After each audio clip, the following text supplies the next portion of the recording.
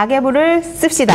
모든 걸 다 줄일 순 없어요. 그것만 줄여도 꽤 많이 줄여요. 다이어리도 갖고 있는데 이건 제가 1999년에 쓴 거예요. 사람마다 모든 걸 다 줄일 순 없어요. 네. 오늘 당장 이것도 줄이고 이것도 줄이고 이것도 줄이세요.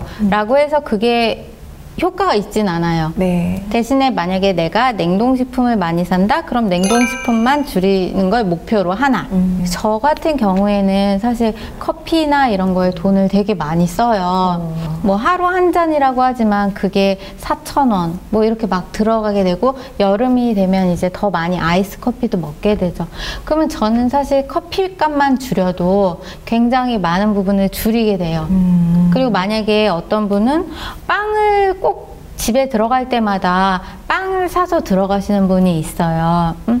빵을 다음날 아침에도 먹을 수도 있고, 뭐, 이제 많이 사두는 거죠, 매일, 주기적으로. 그래서 보통 아파트 단지 앞에 보면 뭐가 있어요?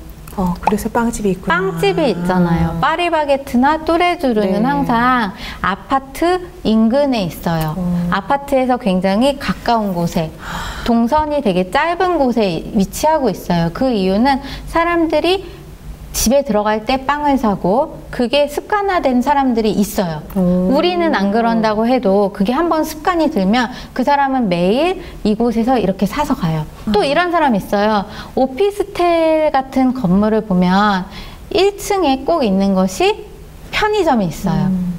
편의점에 가는 것도 습관이에요. 꼭 사고 하는 게 있는 것도 아니에요. 사야 되는 게 아닌, 사야 되는 게 있는 것도 아니어도 습관적으로. 어. 이거 우리는 습관이라고 얘기를 해요. 그러면 그런 분은 나는 오늘부터 편의점을 안 가겠어. 그냥 이거 하나 목표로 세우는 거예요.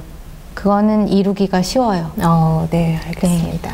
가계부를 쓰는 목적 중에 하나는 네. 지출을 줄이기 위한 것이 분명하고 음. 삶을 좀 더 단순화시킴으로써 지출을 네. 줄이셔야 되고 두 번째 목적은 수입을 늘리셔야 되는 거예요. 그래서 수입을 늘리기 위해서는 내가 소득을 이렇게 쓸 때마다 네. 단순하게 수입을 쓰는 거에서 끝나는 것이 아니라 어떻게 하면 조금 더 수입을 높일 수 있을까라는 질문을 꼭 해보셔야 돼요. 저 궁금해요. 네. 작가님 가계부는 어떻게 쓰시는지. 그래서 제가 이제 집에서 제가 쓴 가계부들을 쭉 봤어요. 근데 제 가계부는 사실 지금 방금 제주맘님이 말씀하신 것처럼 어떤 내가 오늘 천 원 쓴 거, 내가 오늘 얼마 쓴 거, 그것을 적는 것을 가계부라고 저는 생각은 하지 않아요. 네. 음, 그래서 제가 예전에 그럼 나는 어떻게 이런 기록을 하게 됐고, 그럼 나의 가계부라는 그 개념은 어디에서 시작을 했을까라는 생각을 해봤어요. 네. 그랬는데 제가 보니까 어, 저는 1999년이에요. 어, 진짜 99년이네요. 네. 아니, 이걸 가지고 계신 게 되게 놀라워요. 저는 네. 다 가지고 있어요. 보통 제가 갖고 있는 다이어리나 저는 아트박스도 좋아해요. 어. 예쁜 노트는 꼭 사고 싶어 하고, 네. 음. 음, 다이어리도 갖고 있는데, 이건 제가 1999년에 쓴 거예요. 이때 제가 나는 내 삶이 풍요로워지기를 바란다 라고 어. 이렇게 맨 위에 썼어요. 음. 그때는 이제 제가 아르바이트 하면서 대학교 다니던 시절이에요. 음. 아, 99년 저도 대학생이었거든요.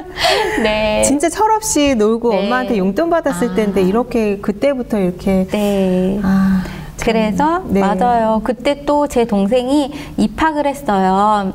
대학교에. 그래서 저희 집에 지출이 굉장히 많은 시기였어요. 그래서 저도 도와야 됐던 시기고 그래서 이제 제가 그때부터 이제 썼는데 예를 들어서 내가 그때 아르바이트 했던 거 네. 그런 시간들을 막 썼어요. 그리고 나서 한 달에 얼마의 수입이 있고 또 어디에다 썼는지 그리고 그때도 제가 어뭐 운동 같은 거 하는 거 있었어요. 어, 그때 수영 하셨네요. 네. 새벽 5시 30분에 네, 모두 다- 잠든 그 시간에 네, 그래서 네. 다섯 시 반에 수영하는 거 있으면 여기다 이렇게 썼어요. 그리고 부모님이 갚으셔야 될 돈도 있었어요. 그래서 제가 오. 그때 이제 한 달에 뭐 12만 원? 뭐 이렇게 내야 되는 돈도 있었어요. 어. 그런 것도 여기에다가 이제 입금해야 되는 날짜 적었어요. 커피도 마신 날도 있었어요. 며칠. 그때는 한, 한 달에 두 번 정도 마셨나 봐요. 커피 마신 날은 커피 마셨다고 네. 또 썼어요. 그래서 제가 쓴 돈, 제가 그리고 모은 돈, 그리고 내가 써야 할 돈, 그런 거 다 기록을 했어요. 이렇게 가계부라는 말 자체는 사실 쓰지 않았어요. 가계부라는 책을 사진 않았어요. 그 가계부는 굉장히 제한적이고 되게 좁은 범위의 하나의 수입과 지출 관리인 거기 때문이에요. 사실은 그 서점에 가서 네. 새롭게 멋있는 가계부를 하나 사려고 했는데 네. 굳이 그렇게 하지 않으셔도 네. 지금 쓰고 있는 다이어리가 네. 가계부가 될 수 있다는 겁니다. 그럼요. 그래서 지금 쓰고 있는 음. 가- 다이어리를 가계부로 하실 수 있고 네. 그렇게 하면서 그냥 이 삶 전체를 조금 더 크게 볼 수 있는 가장 작은 단위가 음. 바로 가계부 인 거죠. 어. 내가 어디다가 돈 쓴지 잘 보잖아요. 그럼 내가 오늘 뭐 했는지 알 수 있어요. 나 어느 공간에서 시간을 많이 보내고 있지? 음. 근데 그냥 생각하려면 생각 잘 안 나잖아요.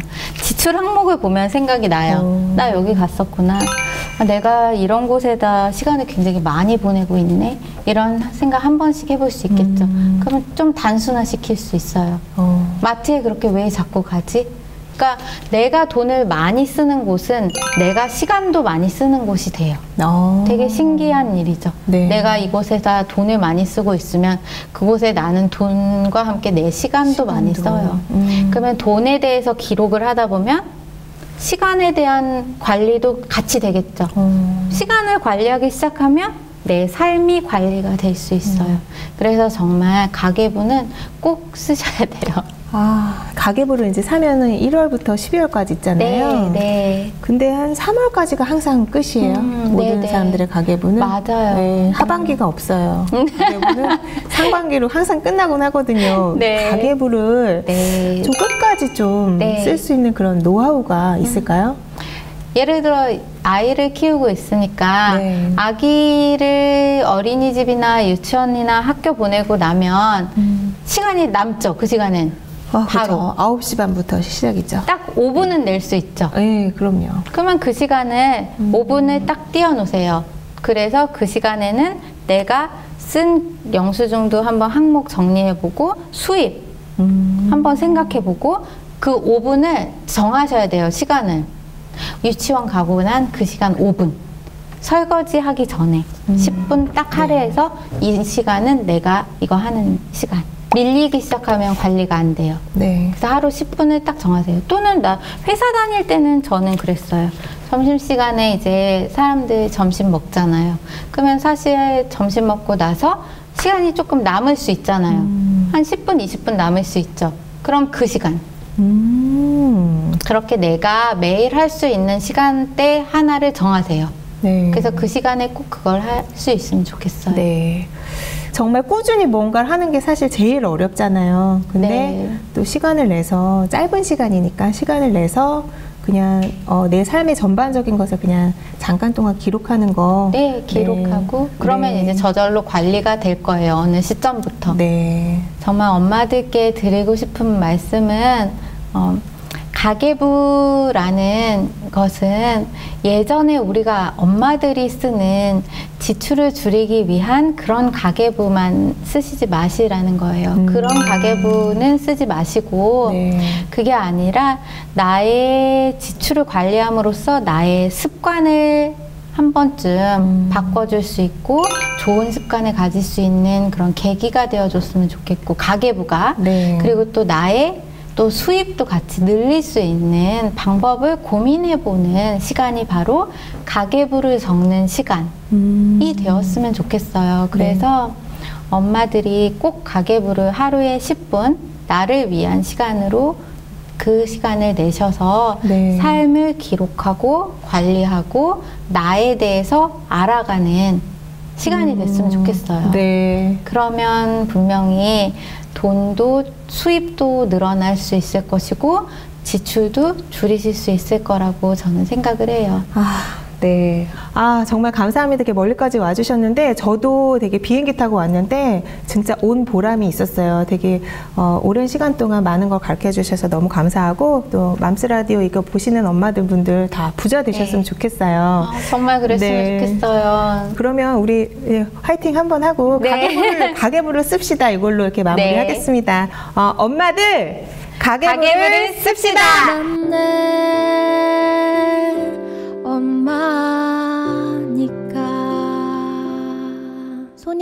엄마가 된 당신을 응원합니다. 맘스 라디오.